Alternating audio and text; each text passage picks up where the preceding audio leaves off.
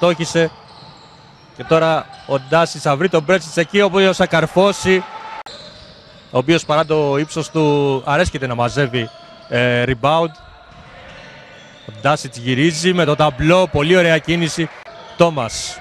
Βγαίνει ο Κασκύρης να μαρκάρει. Ντάσιτς, ο Μπρέζετς. Έχει τον Κασκύρη πάνω του, αλλά το ύψος του Σλοβ... Τρία δευτερόλεπτα για την ΑΕΚ να εκδηλώσει επίδεση. Ντάσιτς θα ζουτάρει αμέσως και θα ευστοχίσει.